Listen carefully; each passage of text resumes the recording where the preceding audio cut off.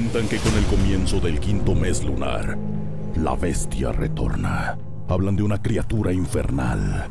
Sea lo que sea, sus bocanadas de fuego desatarán la tragedia. Todo arderá. Y por donde él pase, nada crecerá en 100 años. Y los colores y los sonidos se apagarán para siempre.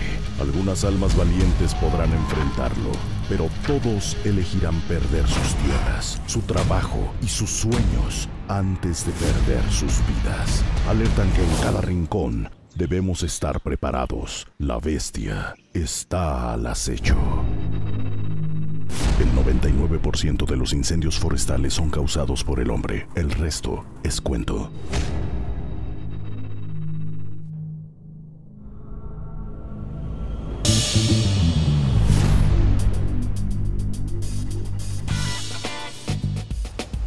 Bienvenidos a Mundo Agro. Permanentemente lo estamos informando y acercándole la información todos los días respecto a las principales novedades del sector productivo, el sector agropecuario, que está creciendo en muchísimas tecnologías, la del riego, la aplicación de nuevas técnicas para la agricultura, también la ganadería, por supuesto, de todo esto vamos a hablar en el programa que arranca de la siguiente manera.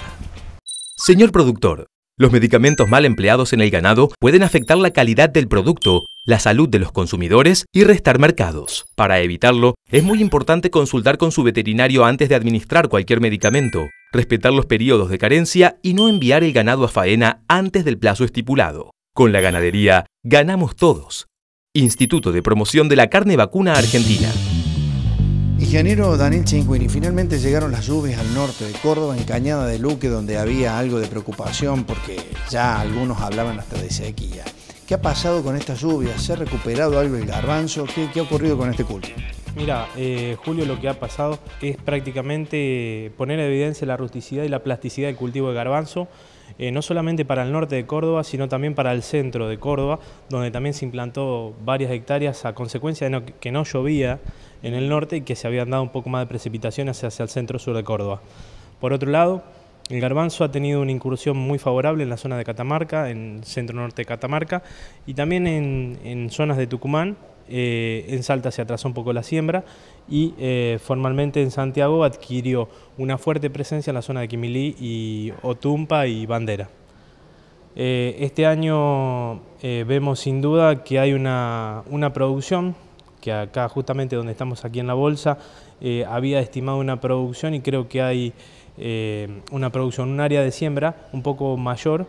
El escenario por ahí no era el más alentador en el momento de la implantación y la siembra del cultivo, pero hoy por hoy estamos visionando de que aún es más desfavorable. Entonces, nunca estamos a tiempo del dicho de que nunca se está tan mal que se puede estar peor.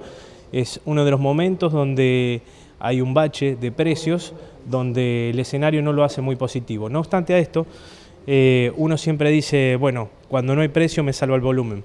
Apuntando a esto vemos que las 34 heladas que tuvimos en la zona de Cañada de Luque, que han sido a partir del mes de junio en adelante, durante el transcurso de junio, julio y agosto, y algunas, algunas heladas eh, muy tenues en, en, septiembre, pero así se dieron, eh, han provocado que el cultivo haya tenido un estancamiento temporal pero no ha sido negativo como otros años. Eh, algunos grupos, como por ejemplo Río Seco, habían advertido que esta cuestión de las heladas eh, habían ocasionado cierto retraso en el desarrollo del plan. Exactamente, no solamente yo eh, coincido en ese caso con el grupo de, Villa de María Río Seco, o el grupo Río Seco sería, sino también que mm, este año teníamos un perfil muy poco desarrollado más en la zona eh, circundante a Cañada de Luque, donde veíamos que difícilmente superaban los 130, 140 milímetros acumulados en todo el perfil hacia los 2 metros de profundidad. Entonces eso, acompañado a la gran cantidad de helada y de, horas de frío, es lo que también nos propiciaba el ambiente no del todo favorable para el desarrollo de la planta. También así eh, fue muy positivo desde el punto de vista agroecológico que las plantas, no, no hubiera pérdidas de plantas por helada como otros años, dado, eh, consideramos con, o sea, nos explicaban algunos climatólogos que se daba porque los tallos, generalmente eh, las microheridas que produce la, fisura del lada cuando se baja la presión atmosférica y eh, la baja humedad ambiente, provocaban fisuras que en, esa, en esas fisuras se producían grietas y bueno, obviamente roturas de vasos que hacía realmente que las heladas tuvieran el necrosamiento de los tejidos y la posterior pérdida de esa planta. Bien, entonces, hoy en la actualidad, después de haber soportado eh, muchas heladas, después de haber recibido el aporte del agua, que finalmente era muy aguardado, ¿cómo está el cultivo de garbanzo hoy por hoy? ¿Ha mejorado? ¿La campaña viene bien? Eh, ¿Se puede llegar a producir más que el año pasado? Exactamente, Julio. Yo creo que eh, la superficie a cosechar respecto del año pasado va a ser un poco superior, algo superior en la zona centro-norte de Córdoba, dado a que la mayoría de lo que se sembró, o prácticamente todo lo que se sembró, se va a cosechar, gracias a Dios, y a las precipitaciones que llegaron. Se hicieron esperar, pero han llegado.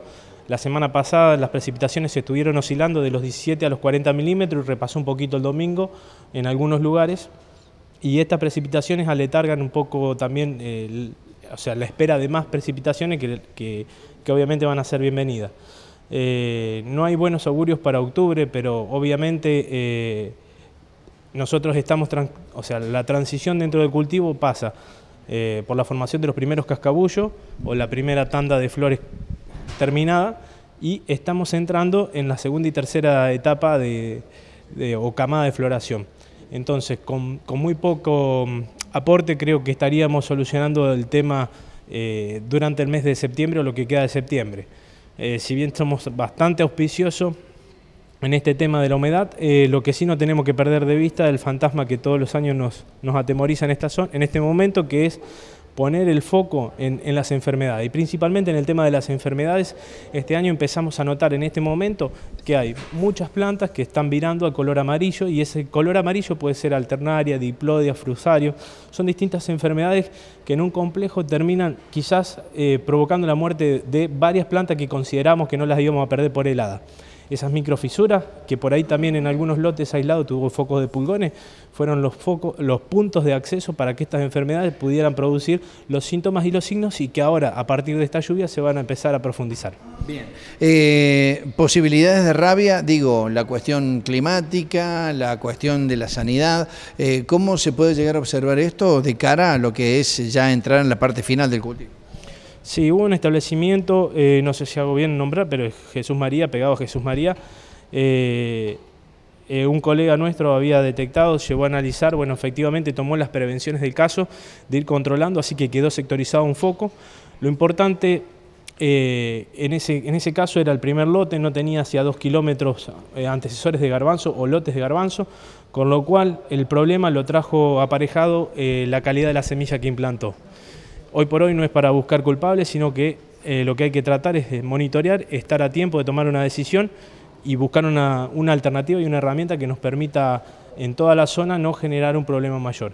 Entonces, en este sentido, no cabe otra cosa que estar brindándole el ojo a la situación. Cada cinco días un monitoreo, a veces puede ser más acentuado, depende de las condiciones ambientales, y no temblar el pulso a la hora de tomar un control.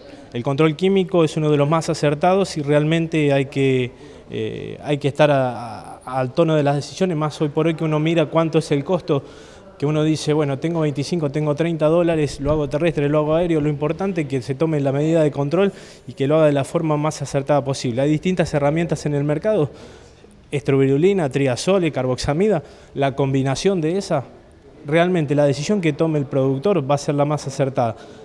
Eh, definitivamente es una enfermedad policíclica, es explosiva, lo que hay que tener en cuenta es la decisión firme de tener el control en la mano.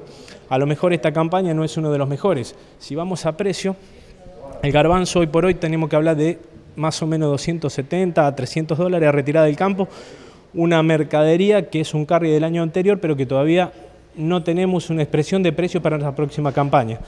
De hecho, eh, si nos posicionamos lo que va a ser el mercado internacional, en Francia va a haber una feria ahora en, octubre y la expectativa está puesta en que sea una, una, no solamente una vidriera de lo que hay hasta hoy por hoy en el mundo, sino que también sea una ventana hacia el futuro. Esa ventana hacia el futuro pasa principalmente por lo que hacen los países de India, de Pakistán, o sea, de Medio Oriente también, que son los, grandes consumidores y también son, grandes productores y generalmente cuando un, un, escenario de precios bajos uno va a apuntar a esos mercados. Si es un escenario de precios altos, generalmente va, a tender a apuntar hacia países de, Europa. Definitivamente la sequía en, Rusia ha producido un cambio de escenario en la producción de cereales en el mundo que quizás los haga viral y los tiente con volcar un poco de producción a cereales y deje en detrimento a las legumbres y probablemente tengamos un viento de cola y estadísticamente se ha dado, apartando de esta situación, eh, un crecimiento en un 20% para eh, fines de octubre eh, del precio de garbanzo y otro 20% por lo general transcurre en aumento para los primeros 15 días de noviembre, porque la mayoría de las compras se realizan en esa época.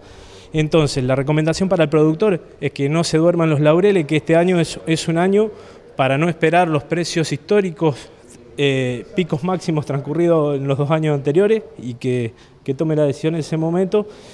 Por más, lo, por más que pase algo positivo en enero o en febrero, eh, no es tan seguro como lo que tiene en ese momento. Que aproveche la situación.